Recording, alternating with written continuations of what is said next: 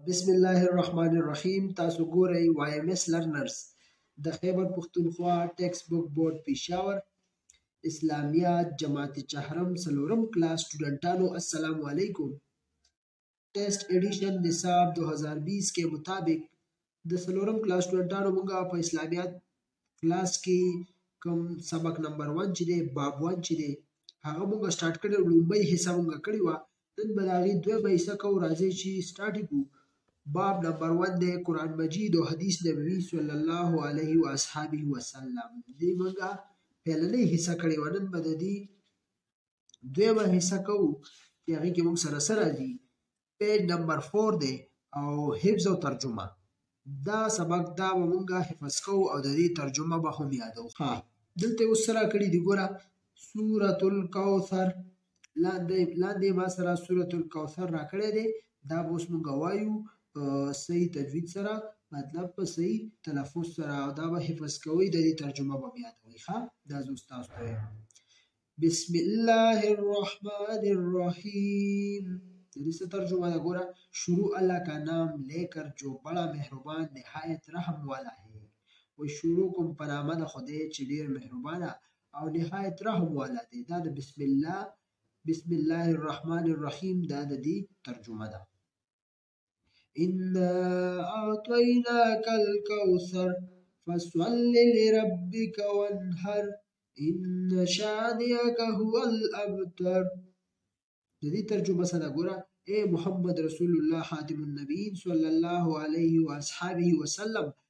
حمد ہے تم کو کوثر عطا فرمائی ہے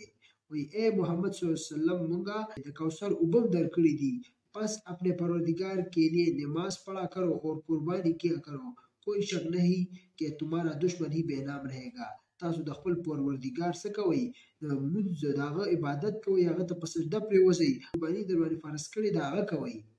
او کوئی شک نہیں څه شک پکې نشته چې ستاسو دشمن بے نام رہے گا هیڅ شک پکې نشته ٹھیک شو نو الله دې موږ ته د نبی علیہ السلام د لاسو کوثر وبرا نصیب کی بیا دا سورۃ الکوثر دای ترجمه وا ٹھیک شو مزید جانیے قرآن مجید کی سب سے بڑی سورت سورت البقرہ ہے اور سب سے چھوٹی سورت سورة الکوثر هي دا څه وایي وایي قرآن مجید کې چې کوم غټ سورت دی هغه سره سورة البقره او کوم وړوکی سورت دی هغه سورة الکوثر نو دا سورت چې دا سورة الکوثر دی ښه سورة البقره دا په لومبۍ سپاره کې دی سټارټینګ نه شروع شوی دی پیلنۍ ټیک شو او دا سورة الکوثر دا په اخیرنۍ سپاره کې دی راځو دی بل پیج ته دی کیسه دی ګوره پیج نمبر 5 پیج نمبر 5 کې اوس کلمات نماز راځي نماز کی حالت میں رکو کے دوران تین مرتبه یہ کلمات ادا کرے په موږ حالت کې د موږ په حالت کې رکو دوران کې دا درې کلمات تین مرتبه مطلب دا کم کلمات چې دا کړی دا وای درې مرتبه ادا کول پکار دی ویل پکار دی ټیک شو لومبه سره ګوره سبحان ربی العظیم ترجمه پاک ہے میرا پروردگار جو بڑی عظمت والا ہے سبحان ربی العظیم دا د لاندې ترجمه ده دا موږ سټیم کې وایو دا موږ چې کله رکو تخکته شو لاسونه په خپو باندې زنګونانو باندې کیدو ملا نیغه کو دا په هغه ټایم کې وایو هغه ته څه وایي رکوع وایي نو دا به تاسو په رکوع کې درې ځل وایي سبحان ربي العظیم سبحان ربي العظیم سبحان ربي العظیم ٹھیک شو رکوع سے اٹھتے وقت جو کلمات ادا کیے جاتے ہیں وہ یہ ہے رکوع نه چې بیا کله اوچت شي رکوع نه چې کله بیا ودرېږئ نو بیا کوم کلمات چې ویل کیږي هغه کوم دي سمع الله لمن حمده ترجمه یې څه ده الله تعالی نه سن دی هیڅ شخص کی باد جس دی اس کی تعریف بیان کی الله تعالی واوریدل د هغه کس خبره چا چې د الله تعالی تعریف بیان کړو نو دا به تاسو د رکوع نه بعد وایي بعضې خلک ګوره دا ټیک نه وایي داسې نیمګړي نیمګړي وایي صحیح ده سمع الله لمن حمده لمن حمده سمع الله لمن نو نیمه نیمه کې پریدي نو داسې به نه کوئ ښه برابر مکمل به وایې دا تلفظ به صحیح ادا کوئ او دا به بیا چې کله رکو نه پاسې دا به بیا ووایې سمع الله لمن حمده نو نبی علیہ السلام ارشاد فرمای و صحابه ته چې تاسو ته پته شته چې د ټولو نه غټ غل څوک دی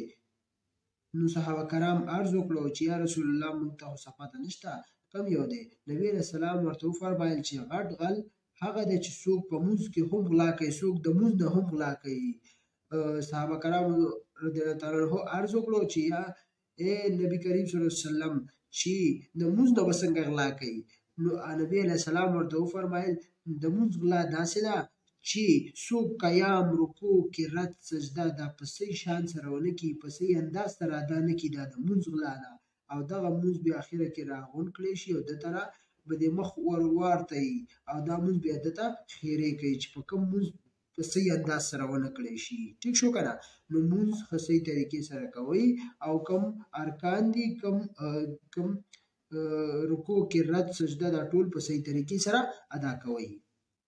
کومه کی حالت میں جو کلمات ادا کیے جاتے ہیں وہ یہ ہے کومه حالت کومه ستوي چې کله چې کله د رکوع نه پاسي او دا ودرېږي سمي الله لمن حمده وي او دې ټیم کې دا منځ کې لږ وقفه راځي ودرېږي دې ته سوي کومه ټیک شو نو دا ټیم کې وسه چې کله دا وې سمي الله لمن حمد بیا بس وې ربنا لك الحمد نو دغه ته کومه وې ترجمه سره اے ہمارے رب سب تعریف آپ کے لیے ہے اے زموږ رب ټول تعریفونه ستاسو لپاره دي ټول تعریفونه ستاسو لپاره دي ټیک شو نو دا دیتا کومه وایي سجده مې تین مرتبه یې تسبیح پړی جاتی په سجده کې بیا درې مرتبه دا تسبیح ویل کیږي هغه کم یو دی سبحان ربی الاعلى سبحان ربی الاعلى سبحان ربی الاعلى درې ځل به دا وایي ترجمه پاک ہے میرا پروردگار جو اونچی شان والا ہے پاک دی زموږ پروردگار چې ډیر غټ شان والا دی ٹھیک شو نو دا خو کومه شو کنه بیا دین علاوه جلسه راځي جلسه څه ته وایي چې کله د دوو سجدو منځ کې هغه تاسو او وقفه غوندې کوي لکه یو سجدې له لاړ شي او بیا کینې هغه ناستې ته بیا څه وایي جلسه هغې ته جلسه وایي او بیا بیا سجدې له لاړ شي او بیا پاسي یا کینې نو دغه د دوو سجدو منځ کې چې کوم وخت هغې ته څه وایي جلسه او د رکوع نه بعد چې کوم هغه هغه ته سوي کوما مزي جانې رکوع سے اٹھنے کې بعد کی حالت کو کوما کہتے ہیں رکوع نه چې کله پاسه حالت ته بیا سوي کوما ٹھیک شو سرګرمیا دیے گئے کلمات کو یاد کریں ان کلمات کو ایک چارټ پر لکھ کر کمرہ جماعت میں اویزا کریں کم کلمات چې راکړي دا یاد کړئ او دا په چارټ باندې جوړ کړئ خپل کمرہ جماعت کې راځوړن کړئ ان کلمات کو یاد کرنا مې اپنې ساتیو کې مدد کرے اور دوسرې کو سنائے او دا کلمات په یادولو کې یو بل سره مدد وکړي او یو بل ته یې واوروي راځو اوس نیکسټ پیج ته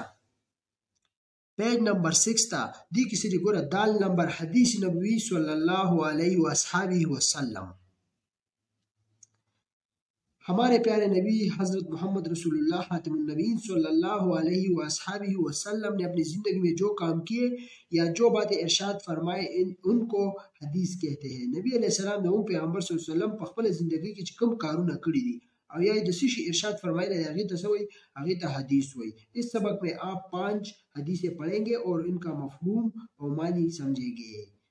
ټیک شو په دې سبق کې به مونږه په پنځه حدیثونه وایو او د هغې معنی او مفهوم به هغې به هم ځان پویو هغې به هم یادو ٹھیک شو یاد رکھے اسلام کو سمجھنے کے لیے قرآن مجید کے ساتھ ساتھ حدیث کو جاننا ضروری ہے ٹھیک شو د اسلام سره سره قرآن مجید او حدیث بدی هم ځان پویول بدی هم ځان پویول ضروری دي دې باره کې هم صحیح زده کول ضروری دي ښا اوس دا حدیثونه دی ګوره لومبه راځي ګوره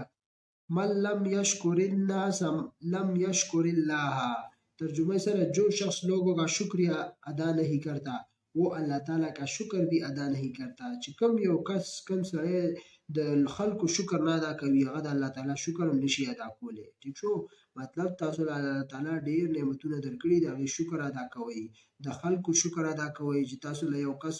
څه چیز درکړي نو د هغوی شکریا ادا کوئ صحیح ده مثلا تا له چا پن درکو چا درله بل څه درکړو چا درله په سکول کې څه یو چیز درکو صحیح ده د هغوی شکریا ادا کوئ چې شکریا مهرباني جزاک الله ټیک ده که نه نو چې څوک د یو کس شکریا نه ادا کوي هغه به د الله تعالی شکر هم نشي ادا کولی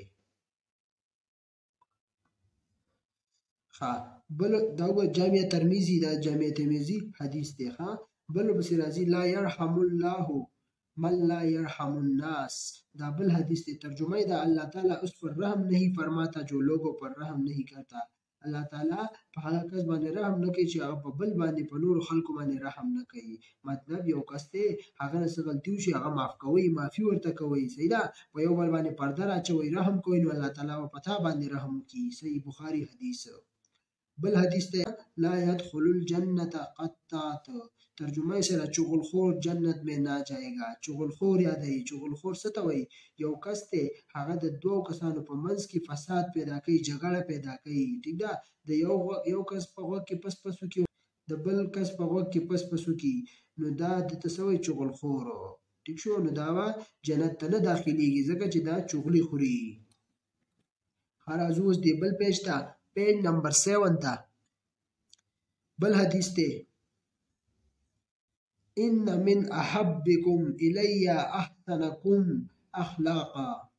ترجم با تم میسه و شخص میره نزدیک زیاده محبوب ہے جو اچه اخلاق والا هو په تاسو کې ما ته هغه کس ډیر زیات نزدیک دی محبوب دی چې څوک ښه اخلاق والا وي صحیح ده مطلب خپل اخلاق هم خسته ساتئ ټیک شو وګوره مشرانو عزت کوئ په کشرانو شفقت کوئ ټیک ده هر چا سره په ښه انداز سره په ښه لهجې سره ملاویږئ نو اخلاق به ښه ساتئ نو نبی علیہ السلام حدیث ته چې هغه کس ماته ډیر زیات نږدې دی محبوب دی چې د چا اخلاق خوي صحیح بخاری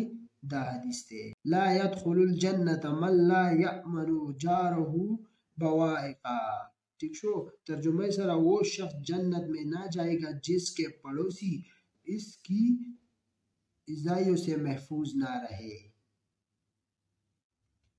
ټیک شو وای هغه شخص هغه کس به جنت ته نزي چې د کم یو کس پړوسی د سیسی د چانه محفوظ نه وي لکه موږ پړوسیانو ته نقصان رسو پړوسیانو ته تکلیف ورکو صحیح ده تاسو به نه کوئ چې د پړوسیانو وګوره هغه ته ګیټ ټکوي بار بار یا کاڼي ورولي یا بل څه ګندونه مندونه پیاچوي نو دا تکلیفونه دا خپل پړوسیانو لا دا به نه ورکوئ، ځکه دا ستاسو پړوسیان دي، هغوی په تاسو حق دي او تاسو به د هغوی د روټۍ خیال ساتئ، خوراک خیال به یې ساتئ. ټیک شو، نور څه ضرورت وي، تاسو به ورسره مدد کوئ. نو دا حدیث دی، صحیح مسلم حدیث. راځو لاندې سرګرمیا تین احادیث پر مشتمل خوبصورت چارټ تیار کر کې کومه جماعت مې ویزا کرے کوم درې حدیث مشتمل خوبصورت چارټ وې تیار کې خپل کمره کې راځوړن کړئ روزانه طلبه اسی نیم ایک حدیث ما ترجمه سنا ہے په اسمبلی کې روزانه طلبه له پکاره چې یو حدیث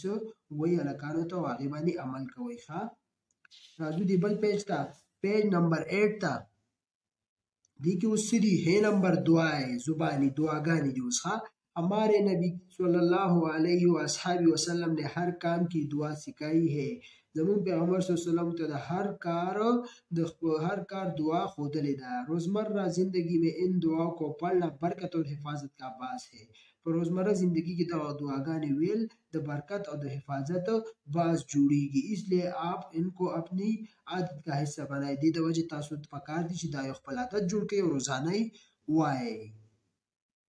فرمان نبی صلی الله علیه و آله و سلم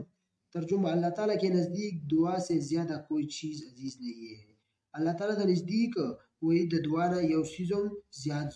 نږدې نه دی صحیح ده دعاګانې ډېر زیاتې نږدې دي هغه قبلېږي تاسو دعاګانې کوئ الله تعالی قبلې ښه خو الله تعالی دعاګانې د انسان دعاګانې الله تعالی قبلې اوس دلته لاندې دعاګانې ګوره څو نیکي دعا د د کېدو دعا ده صحیح ده چې تاسو د کېږي کومه دعا به وایي اللهم بسمك اموت واحيا دا دعا ده ها ترجمه ده اے الله تیرے نام کے ساتھ مرتا ہوں اور تیرے نام سے زندہ ہوتا ہوں وی اے الله ستا نوم سره مطلب مړ کېږم ستا نوم سره سملم او تیرې نام سه زنده هوتا هو ستا نوم سره واپس را پاسم لکه چې سړی اوده شي د ده مثال د مړو وي که نه نو ای الله ستا په نوم سره ستا په حکم سره سملاسم او ستا په حکم به راپاسم ټیک شو جاګنه کی دعا د راپاسېدلو دعا الحمد لله الذي احیانا بعد ما اماتنا و الیه النشور ترجمه سره تمام تعریف الله کې لیه جس نه همه موت دینے کې بعد زنده کیا اور هم نه اسی کی طرف لوټ کر جانا هې تمام تعریفونه الله لپاره دي جس نه همې موت کې بعد زنده کیا چې هغه مونږه د موت د مرګ نه بعد مونږه ژوندۍ کو ما تاسو ته ویل چې یو کس د شنو هغه مثال د مړو دی کنه مطلب مړ شي به را ژوندې کړي او هم نه اوسې کی طرف لوټ کر جانا هم با هم دغه طرف لوټ کړم دغه طرف ته بزو ټیک شو نو دا د را پاسې دو دعا ده راځو پسې دی بل پیج ته پیج نمبر 9 ته دی کې سری ګورا بیت الخلا مې داخل ہونے کی دعا چې کله واشوم ته نه نوځي کومه دعا به وي اللهم اني اعوذ بك من الحبس والحبائس دا دعا به وایي صحیح ده چې کله واشروم ته ټوایلټ ته باثروم ته ننوځي ترجمه سره اے الله مې بره جنات مذکر و مؤنث سے تیری پناہ مانگتا ہوں اے الله مونږ د بره کم خراب جنات کی مطلب کم شیطانان دي موږ سره هغې نه موږ پناه غواړو د تاسو نه ټیک شو لکه یو کس باتون ته نوځي نو دا دعا وایي چې د مختلف د شیطان د حرکتونو نه بچ کیږي چې تاسو باندې شیطان غالبیږي نه ښه بیا راځي بیت الخلا سے باهر نکلنے کی دعا د باتون نه چې واشون نه چې روزي کومه دعا وایي غفرانک ترجمه سره الله مې تیری بخشش چاہتا ہوں دا ترجمه دا سنن ابن ماجه مسجد میں داخل ہونے کی دعا چې کله جمعات ته ننوځي کومه دعا به وایي اللهم افتح لي ابواب رحمتك دا دعا به وایي صحیح ده ترجمه یې څه ده اے الله میرے لیے اپنی رحمت کې دروازې کول دي اے الله موږ لپاره د خپل رحمت دروازې کولاوي کا سنن ابن ماجه دا دا دعا به وایي راځو دی بل پیج ته پیج نمبر 10 ته